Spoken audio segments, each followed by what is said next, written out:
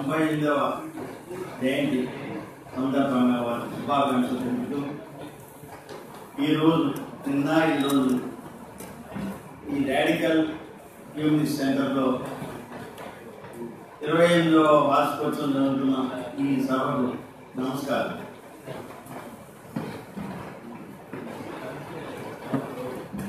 ఏడు సత్యనారాయణ గారు ఇప్పటివరకు విశ్వ పరిణామం అందులో మానవుడి పరిణామం నియమాలు అవన్నీ ఇవన్నీ కూడా బిగ్ బ్యాంగ్ దీని ద్వారా లేదా ఎవరు శాస్త్రజ్ఞులు చెప్పారని చెప్పడం జరిగింది. అయితే ఇటీవల జలంధర్లో జరిగినటువంటి భారత సైన్స్ కాంగ్రెస్ అనేక మంది శాస్త్రజ్ఞులు అంతేకాకుండా మన ఆంధ్రప్రదేశ్ రాష్ట్రం నుంచి నేను రైల్వే కాబట్టి కొద్దిగా సబ్జెక్ట్ పరిణామం సబ్జెక్ట్ మీద కొద్దిగా చేసి Andhra Pradesh Andhra university vice chancellor Jalandhar జరిగినటువంటి టాలెంట్ జరిగినటువంటి భారత సైన్స్ కాంగ్రెస్లో పాల్గొనడం అందులో ఇలాంటి విషయాలన్నీ ఏనాడో మన భారతీయులు వేదాలలో ఏనాడో చెప్పిరని చెప్పి ఉపయోగించడం జరిగింది అన్నమాట. ఇప్పుడు మనం శాస్త్రజ్ఞులు కనిపెట్టినటువంటి విమానాలు అయితేమి సెల్ ఫోన్లు మనం మాట్లాడుకోవడం ఇలాంటివి అయితేమి డార్విన్ చెప్పిన ఏనాడో మన భారతీయులు చెప్పారు ఇవన్నీ మన వేదాల్లో ఉన్నాయని చెప్పి చెప్పడం జరిగింది. మామూలు వ్యక్తి కాదు ఒక విశ్వవిద్యాలయం విద్యాలయం యొక్క వైస్ ఛాన్సలర్ ఆ మాట వారు జరిగింది. ఆ తర్వాత విమర్శిస్తే ఈ విధంగా మాట్లాడుకొని ప్రోగ్రామ్ ఎలా మాట్లాడాలంటే సాయి సాయి చెప్పడం జరిగింది అయితే అయితే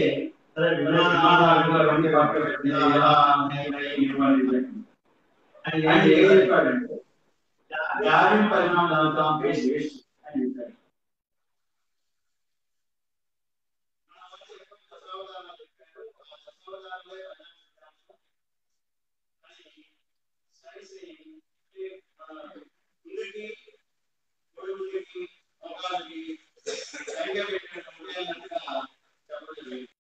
అనేక మంది హిందూ వాళ్ళు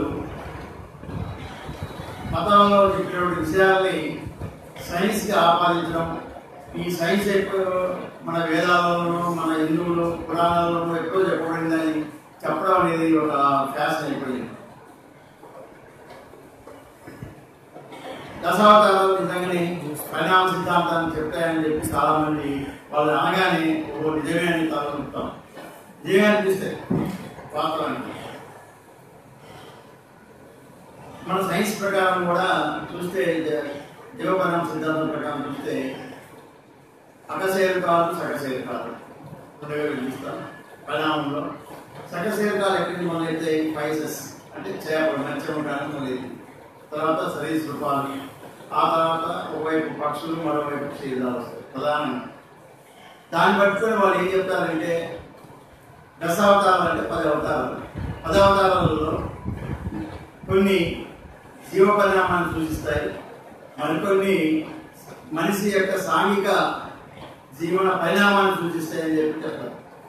అవి వరుసగా ముందు చెప్తాను. మత్స్య అవతారం కూర్మ అవతారం వరాహ అవతారం నరసింహ అవతారం పరశురామవతారం రామావతారం కృష్ణావతారం బుద్ధావతారం కలికావతారం ఇవన్నీ కూడా ప్రధాన కొన్ని పరిణామాన్ని చూపిస్తున్నాయి కదా.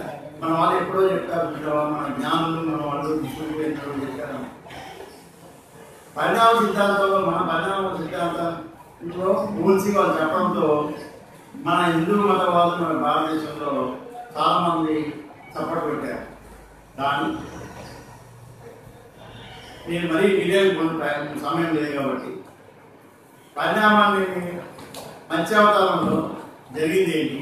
ఊట అవతారం జరిగింది ఏంటి అనేది మనం ఆలోచిస్తే ప్రతి అవతారంలో కూడా విష్ణు అనే ఒక దేవుడు ఆ అవతారాలు ఎత్తి దుష్ట శిక్షణ శిష్ట రక్షణ అనేది చెప్పడానికి పురాణాలు చెప్తాయి పురాణాలు చెప్తాయి. నేటి మేధావులు హిందూ మత మేధావులు మాత్రం సైన్స్ ఆపాదించి వాటిని సమర్థించడం జరుగుతున్నారు మత్స్యావతారంలో ఏం జరిగింది?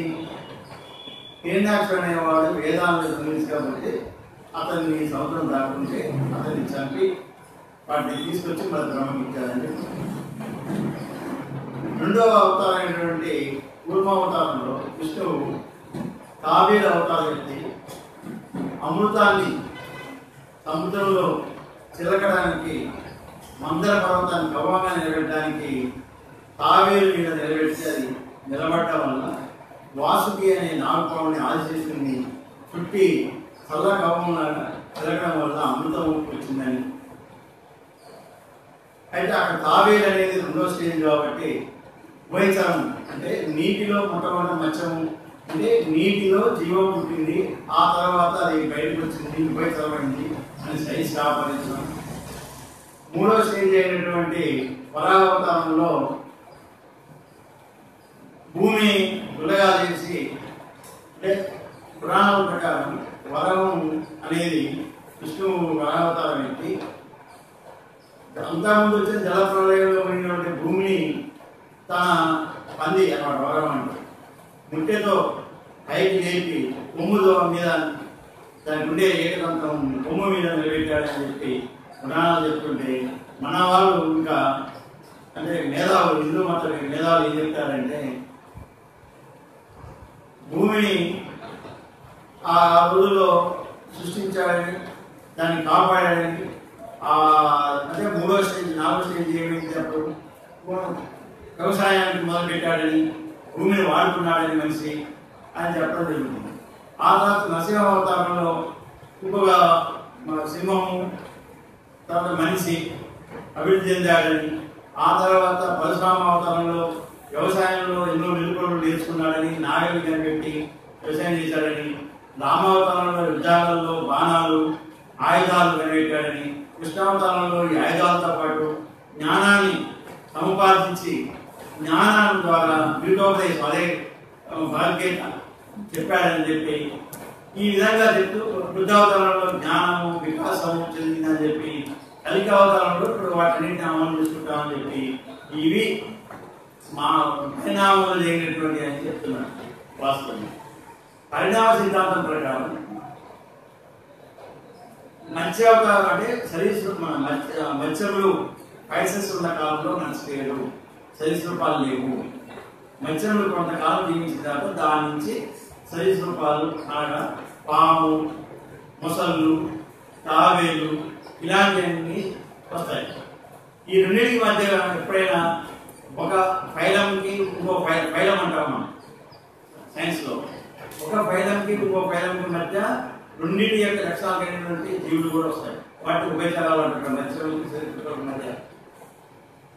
కప్పలు దానికి ఉభయచరాలు అప్పుడు మనుషులు కూడా లేరు. ఆ తర్వాత సరీసృపాలలో తాబేలు అవి ఉన్నాయి అంటున్నాం మొసలు ఉన్నాయి అంటున్నాం దాని నుంచి రెండు బ్రాంచెస్ వచ్చాయి సైన్స్ ప్రకారం. పక్షులు ఒకవైపు వస్తే మరోవైపు చీరదాలు చీరదాలు అంటే మనకి మనుషులతో పాటు ఏనుగులు సింహాలు ఇవన్నీ కూడా చీరదాలి పుల్లు ఇవన్నీ కూడా చీరదాలి కానీ ఒక ఒక పైలట్ నుంచి ఇంకో పైలంకి వచ్చినప్పుడు మొట్టమొదటి మనుషులు లేరు చీరదాలు లేవు. కానీ దశావతారాల్లో ప్రతి అవతారంలో కూడా మనుషులు కనిపిస్తారు మనకి. మత్స్యావతారంలో వాసుకి నాలుగు పాము ఉంటుంది. మత్స్యావతారంలో తావేలు ఉంది అంటే జలచరాలు ఉంటాయి.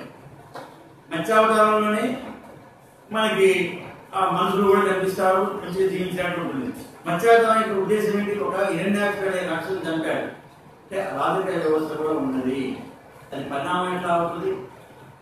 అలాగే నెక్స్ట్ స్టేజ్ కుటుంబావతారం కూడా ఒక రాక్షసుని చంపడమే. అంటే మనుషులు ఉన్నారు రాజ్యాలు ఉన్నాయి అప్పటికే వ్యవసాయం ఉంది అప్పటికే భవనాలు స్థిర నివాసాలు ఉన్నాయి. అలాంటప్పుడు అదొక పరిణామం ఎలా అవుతుంది మార్పు. పరిణామం అంటే మార్పు.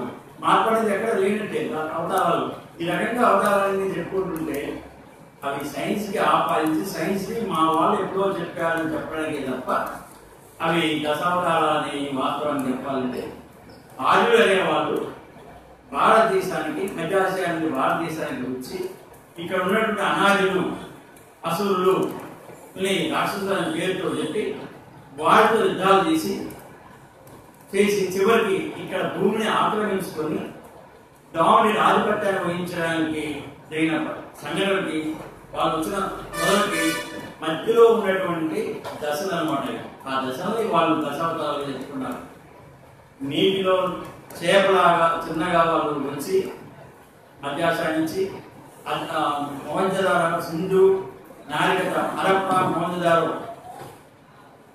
నాగరికత వికసిస్తున్నటువంటి కాలంలో ఆ నాగరికత మన అసూరుల కాలంలో జరిగినప్పుడు వాళ్ళు వలసదారులుగా వచ్చి అన ఆర్యులు ఇక్కడ వాళ్ళని ఓడించి ఇక్కడ టెక్నిక్స్ ఏంటి ఎక్కువగా వ్యవసాయం అంతా అభివృద్ధి చెందితే నీటి నీరు వినియోగించుకొని ఆనకట్టలు కట్టి ఇక్కడ వాళ్ళు ఉన్న కాలంలో వాళ్ళు వచ్చి ఆనకట్టలు నింపి నీటిని పాలు చేసి భూమిని అన్నింటినీ పాడు చేయాలని వచ్చే అవుతారు. నీటి నుంచి. నిజంగా మంచాల నుంచి ఆ కణాలు పెట్టి కాదు వాళ్ళు మరో స్టేజ్ అది ఆ తర్వాత తాబేలు ఎలాగైతే నిదానంగా పోయి ఆ లోపల పెట్టుకొని మళ్ళీ ఒకసారి అవకాశం వచ్చినప్పుడు బయటకు తీసి తన వీటిని తాను ఎలా కాపాడుకుంటున్న కాపాడుకుంటుందో పెంచడం ద్వారా ఆ విధంగా ఆయులు మనకుంటారు ఈ అసురుల నుంచి ప్రతిఘటన జరిగినప్పుడు నిదానంగా కొన్ని వెనక్కి తగ్గి మళ్ళీ ముందుకి చిన్న స్లోగా వాళ్ళ యొక్క దాడులు చేసుకుంటూ ముందుకు పోవడమే చూపిస్తుంది. కుటుంబావతారం పరావతారంలో ఏంటంటే అసురులు వా- చాలా మందిని ఓడించి భూమిని సంపదని అన్నింటినీ కూడా వాళ్ళు ఆక్యుపై చేసుకుంటున్నారు స్వాధీనం చేసుకుంటారు ఆ విధంగా భూముల్ని వాళ్ళు గంగా మైదానం వరకు వచ్చి భూముల్ని ఆక్రమించుకోవడమే పరావతారం చూపించుకుంది ఆ తర్వాత వాళ్ళు స్థిరపడి ఇక్కడ వ్యవసాయాన్ని చేసుకోవడమే పరశురామవతారం ఆ తర్వాత రామావతారం అంటే వాళ్ళు బాగా స్థిరపడి రాజకీయ వ్యవస్థను ఏర్పాటు చేసి రాక్షసులు ఇంకా మిగిలినటువంటి రాక్షసులు రావణ రావణుడు లాంటి రాక్షసులు కూడా చంపడం జరుగుతుంది అన్నమాట ఆ విధంగా కృష్ణావతారంలో వాళ్ళలో వాళ్ళకి క్లాసెస్ ఇచ్చాయి మళ్ళీ. అది కృష్ణావతారంలో తెలియజేస్తుంది. తర్వాత క- ఈ విధంగా ఆరు యొక్క ఒక స్టేజ్ నుంచి ఇంకో స్టేజ్ తెలియజేసేదే దశావతారాలు తప్ప మన సైంటిస్టులు శాస్త్రీయవాదంగా ఆ, నియమావళి విశ్వ పరిణామం యొక్క విశ్వ నియమావళి ప్రకారం చెప్పినటువంటి అవి పరిణామ సిద్ధాంతాలు కావు పరిణామాలు కావు. నిజంగా పరిణామాలు ఏంటంటే సైన్స్ చెప్పేటువంటి పరిణామ సిద్ధాంతంలో ఏకకణ జీవి గురించి మొదలుపెట్టి అవి బహుకణ జీవులుగా బహుకణ జీవులలో అకశరీరకాలు సకశరీరకాలు జరగడం. ఆ తర్వాత మానవుడు ఏ విధంగా పరిణామం చెంది ఈనాటికి ఆధునికంగా ఎదుగుదల జరిగారో సైన్స్ చెప్పాలని చెప్తుంది సైన్స్ చెప్తుంది. కానీ మత ఏ మతాలు కూడా ఏకకణ జీవి గురించి కానీ బహుకణ జీవులు ఎలా ఆలోచించినాయి కానీ విలుప్తమైనటువంటి అంటే నశించినటువంటి డైనోసార్స్ గురించి కానీ ఆ బైబిల్ కానీ హిందూ మత గ్రంథాలు కానీ అలాగే బ్యాక్టీరియా వైరస్ గురించి కానీ వేడి గురించి కూడా చెప్పకపోయినప్పటికీ సైన్స్ ఏదో చెప్పగానే ఓ ఇది ఆనాడే మా వాళ్ళు చెప్పారు. ఆనాడే ఇది చేశారని చెప్పడం అనేది మామూలు అయిపోయింది అన్నమాట. కాగానే కాషాయ వస్త్ర కాషాయదారులు హిందూ మత వాదులు ఆ మతం యొక్క మొత్తం నిలువేలా మతాన్ని యొక్క కలసం కలిగినటువంటి వాళ్ళు ఓహో నిజంగానే మా వాళ్ళు కూడా చెప్పారు. అని ప్రధాని చెప్పడం అలవాటు అయిపోయింది ఉదాహరణకి తవ్వకాలు చేస్తుంటే మన వాళ్ళు విదేశాల్లో తవ్వకాలు చేస్తుంటే ఒక కిలోమీటర్ రెండు కిలోమీటర్ నాలుగు కిలోమీటర్ రోజుల్లో ఒక వైర్ కనబడదు. వైర్ కనబడగానే తవ్వకాలలో ఆనాడు పర్వాలేదు ఒక యాభై ఏళ్ళ క్రితం ఒక యాభై ఐదు వందల సంవత్సరాల క్రితం మన వాళ్ళు వైర్లు అని పెట్టారు. వైర్లు వాడారనమాట అని చెప్తే భారతీయుడు ఒకటి అన్నాడ మా మీ దగ్గర ఐదు కిలోమీటర్ పది కిలోమీటర్ రోడ్ చేయడం ఇచ్చింది వైరు మా దగ్గర ఐదు వందల కిలోమీటర్లు పోయినా కూడా ఒక వైరు కూడా కనబడలేదంటే ఆనాడే వైద్యస్ వాడారు అని మా వాళ్ళు అర్థమవుతుందని చెప్పి మన వాళ్ళు చెప్పడం అని అనమాట కాబట్టి ఈ విధంగా మన మన బాధ ఏంటంటే మామూలు జనాలు మామూలు మతవాదులు చెప్పడం అర్థమైంది కానీ ఎంతో విజ్ఞానాన్ని ఎంతో పెద్ద చదువులు చదివి కూడా వాళ్ళు మతవాదులుగా మారి దాన్ని సైన్స్ని ఆపాదించుకోవడం అనేది మన మతాల గ్రంథాలలో ఉన్నాయనేది చెప్పుకోవడం అనేది విధంగా ఉంటుంది అనమాట అయితే ఇది ఎలా ఉంటుందంటే ఒక టీచరు స్కూల్లో గ్రహణాల గురించి పాఠాలు చెప్తాడు. సూర్యుడు చంద్రుడు భూమి. వీటి గమనంలో ఉన్నటువంటి రేఖల మీద ఒక రేఖ మీద ఉన్నటువంటి గమనాన్ని బట్టి గ్రహణాలు ఏర్పడతాయి కానీ చంద్రగ్రహణం ఏర్ప ఏర్పడప్పుడు రావు కేతువులు ఉన్నాయని అవి పాములు లాగా వచ్చి మింగుతున్నాయని చెప్పి ఆ ఇంట్లో మన వస్తువులన్నీ కలుపుకోవడం ఉపవాసాలు ఉండడం తర్వాత ఆ రోజు మంచి రోజు చెడు రోజు అని చెప్పుకున్నట్టే అంటే ఇది శాస్త్రీయ దృక్పథం కానీ సామాజిక దృక్పథం కానీ లేనటువంటి మతవాదులతో ఈనాడు చాలా మనకి ప్రమాదకరం ఉందని చెప్పి మన ఎదుటి వాళ్ళు ఇటువంటి విషయాలు తెలుసుకోవాల్సిందిగా కోరుతూ నాకు అవకాశం ఇచ్చినటువంటి రాజకీయ ఇంగ్లీష్ సెంటర్ వారికి నిలబడి ధన్యవాదాలు